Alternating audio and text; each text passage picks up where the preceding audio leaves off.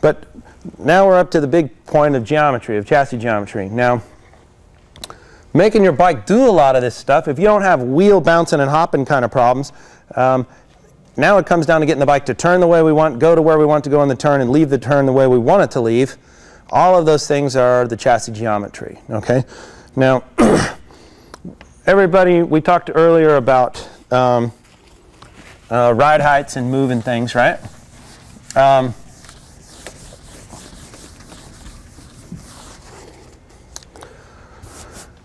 now we want to, so you understand what we're going to do. If we, want, if we want to move the front of the bike, we're going to move the forks up and down in the triple clamps. If we want to raise and lower the back of the bike, we're going to use that ride height adjuster on our aftermarket shock, which we all have. Right? Um, uh, some stock bikes have um, provisions for this. So uh, on a frame, a GSXR, for instance, and some of the Hondas have a uh, clevis at the top you can put shims under.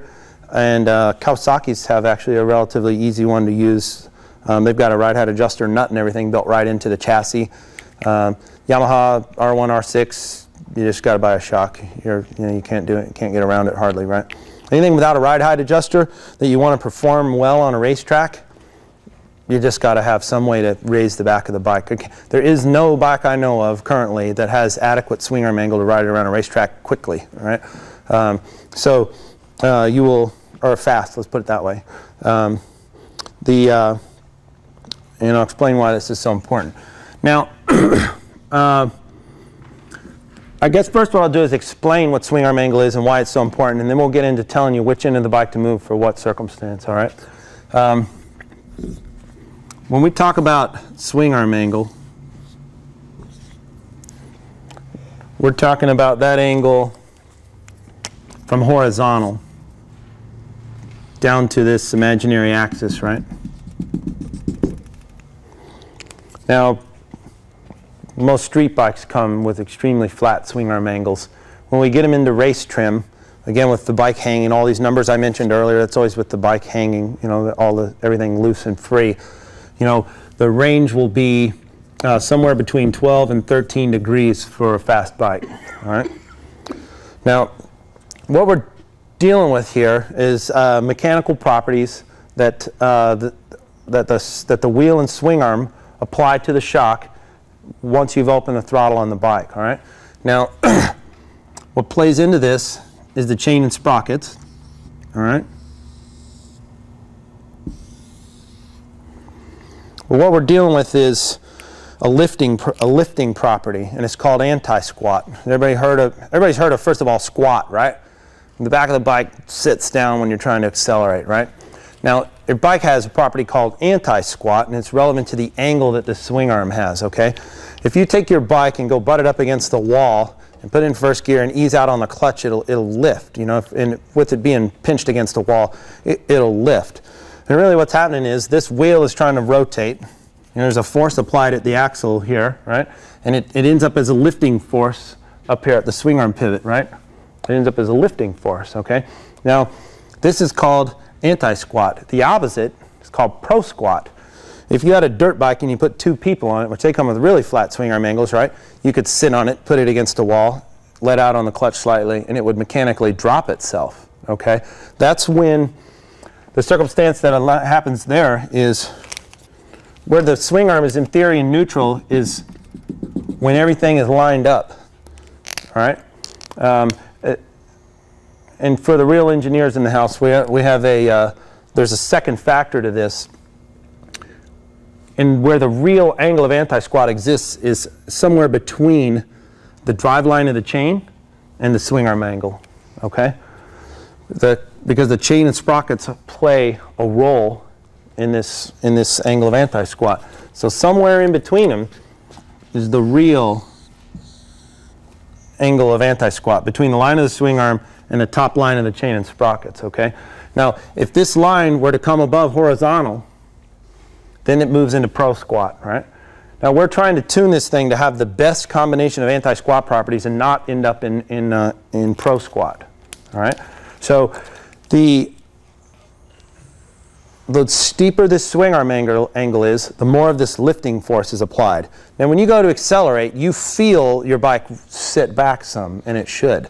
But the question is, how much, how much is that, right? Now if we were to have no anti-squat, it would really roll back hard, okay? Now if we have a ton of anti-squat, it may only sit back a little. But getting more anti-squat, the way we get it is with more swing arm angle, okay? Now, if you get to the point where you have so much swing arm angle, you, you actually can get to a point where you have so much swing arm angle that it won't squat hardly anymore. And that's when you can get direct wheel spin. Now, really, really fast guys like to be somewhere just a touch off of that point because they're looking to be able to crank that throttle on as hard as it can go with the biggest possible engine their tuner will give them and leave the turn as soon as they possibly can with the most possible force without spinning the tire, right? And so they're trying to get to the magic place that is no wheel spin, but the, the most possible anti-squat. And that number typically falls somewhere around 12.7 on a sport bike. By the time bikes are at 13 degrees, they're spinning the wheel with a fast rider on it. And down there at 12, they're squatting pretty good, actually. It's a very, very, very narrow range. I mean, where tenths of degrees are noticeable to any, any fast rider, okay? Um, so So you can imagine now that changing the sprockets affects this. All right, it is a factor. So if this is our angle of our swing arm, this is our angle of the top line of our chains, and we have our you know theoretical angle of anti-squat here. If we put a bigger sprocket on the rear, we changed our chain line to there, this has gotten flatter, and that bike will have a greater tendency to squat. Now, people are mis have misconceptions that if, if you just want to come up with the same final drive ratio with their gearing, that it has no effect on the bike, right? So if you were running 1545 and you went to 1648, people who don't know what they're talking about will say, ah, it doesn't make any difference. Just put that on there. It'll work the same, right? But it won't work the same. This will want to squat more, all right? Because you've actually changed it, changed the way it works, right? You've changed the mechanical properties of, of, of that bike, and you've, you've now got less anti-squat in it. So just be aware that your chain and sprockets are making subtle changes, and they are subtle um, to, to you, uh, the guy riding the bike. It, they are very subtle. So um, this isn't something where you're going to go to a 46 and go, oh my God, my bike fell apart, right? It's not going to be like that, right? Uh, do we have anybody that rides an older GSXR, a pre, pre-gener, you know, like a 97? None of them? There is one other instance that can occur um, to, that affects this, and that's if your drive chain lays over the swing arm pivot. By the time you try and crank your swing arm up to where you get a decent amount of anti-squat, if uh, the drive chain, I'm going to exaggerate this, lays over the swing arm pivot, when you go to accelerate that, this chain is trying to pull itself into a straight line. It'll actually mechanically squash the swing arm pivot down and it'll pull the bike down. So with the old GSXRs, if you had a 15 tooth countershaft sprocket on there, right, pretty much with any rear sprocket, it would rip the rubber guide off the swing arm and throw it out into your belly pan or onto the racetrack. And then the chain would grind into the swing arm and your bike would be squatting. And it, took everybody a while to figure this out, but don't ask me why. But you go to 16, no problem. Then the chain would lay, you know, off of the swing arm pivot and you wouldn't have these problems, right? Now, if you were to run that 15 tooth sprocket, which is like, I think it was stock, and you have your swing arm in the stock location, hey, no problem, right? But, you know, in stock location, we know that that thing, when you crack the throttle, is just going to sit down and run wide. Now, so the way this plays out on a racetrack, I got my turn. Here's my turn. Turn's no good. And I'm riding through the turn, and I come here, and I'm going to get on the throttle, my bike runs out, and this is as soon as I can get on the throttle to stay on the racetrack. But this is with my stock swing arm angle, right? That's just as soon as I can get on the throttle, because if I get on it any sooner, I'm going to drive straight off the track, right? If you were to raise your swing arm angle into this race trim, into this race range, you know, take it from 9 or 10 or whatever it was stock and move it up, what will happen is you'll get on the throttle at that exact same place, and you're going to drive out here into the middle of the racetrack. And you go, what the heck happened there? You know, I had the throttle wide open. Well, all you've done is make it so the bike didn't squat and run wide off the racetrack. So now what happens is you can get on throttle back here. Now you get on throttle back here and you're back on this arc, right? And now you just, you know, took half five tenths off your lap time because you got on the throttle 30 yards sooner, right? It- and that's all it is. Just raise the back of the bike up. Now do that times 13 turns and see what it does to your lap time. You know, 13 times 0.5, and you might be shocked at how big a ride height change can make to a, a novice rider's bike. Particularly if you have the impression, I'm going as fast as I can go. I got on the throttle as soon as I could get on the bike. I can't go any faster.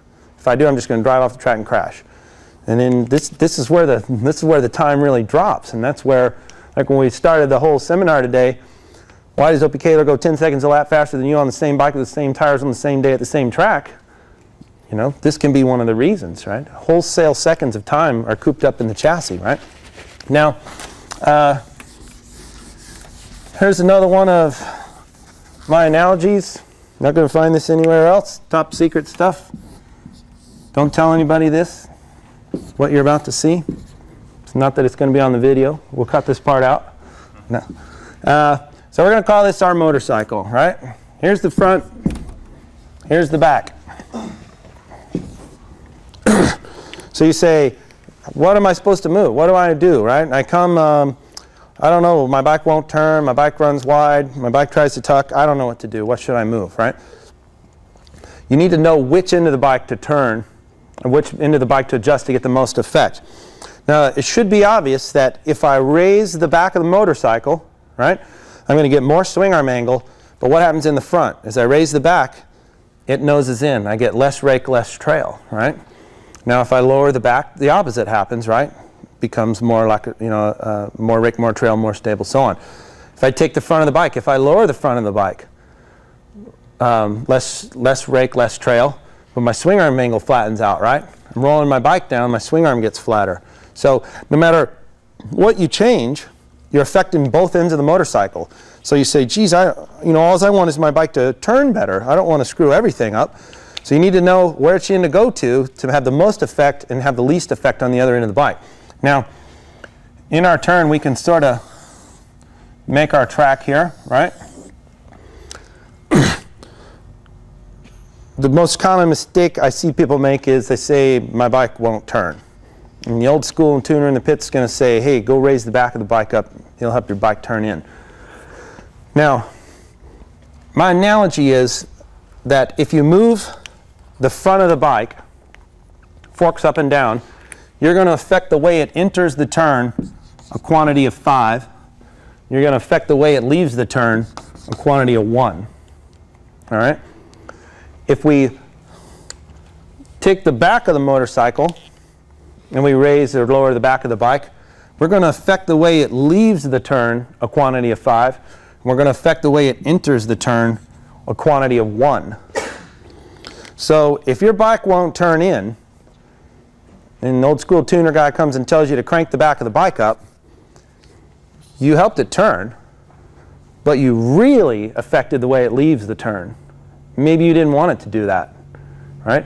Maybe your bike already left the turn good and you had good swing arm angle and the bike didn't squat and it ran off the turn properly.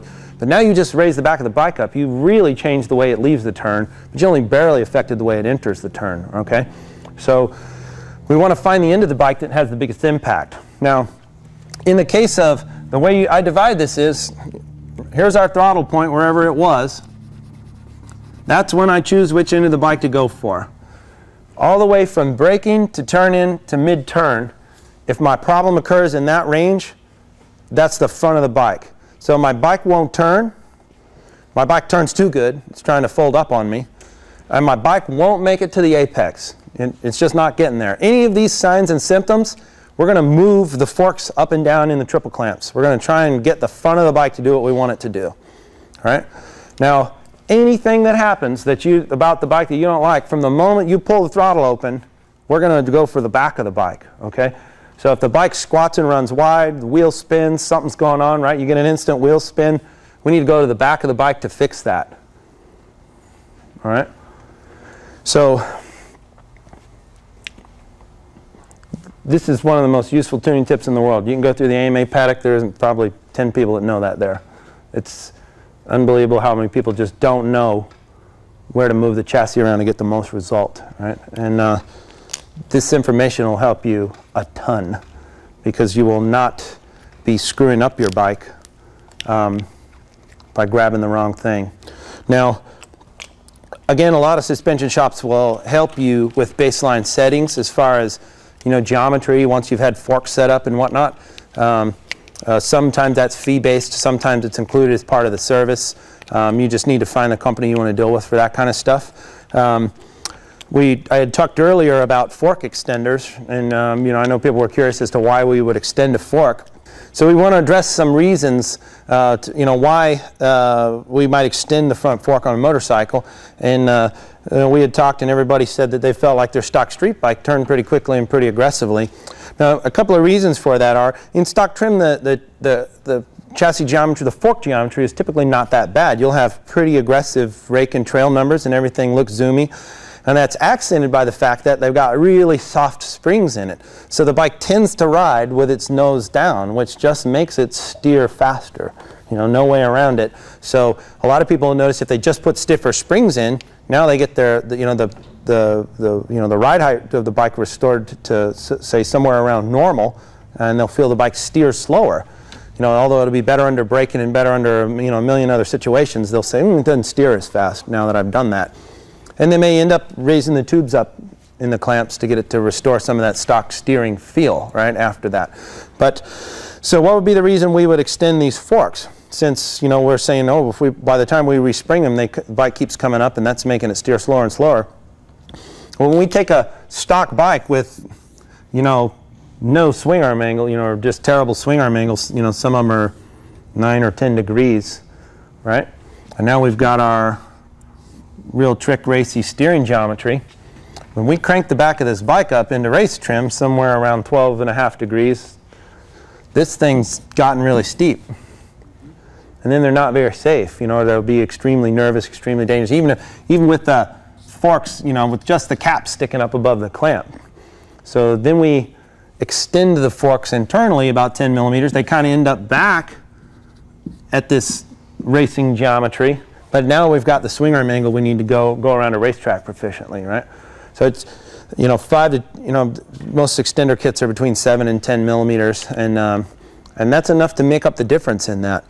Now the reason we got to tune a bike that way, we got to tune it back first and front last, is simply because, like I said, we're dealing with mechanical physical principles here. We, we can't change this. You know, we got to get the bike to leave the turn first. Once we get the bike to leave the turn properly, then we need to make sure the, the steering works right after that. So this is just the sequence. There's no way around this. If you get the steering geometry right and then try and fool with the back, you've just, you've just made a mess out of it. And in, in reality, like I said, we, we can't control this. It's going to do what it wants to do. When you pull the throttle open, you got to have the right amount of anti-squat. If you don't, you're just not going to go fast, right? So um, that's kind of the, uh, the idea behind the, the fork extender and why we would do that. Um, so um, uh, during one of the breaks, some people had talked about lowering bikes, and you know that's a hard thing.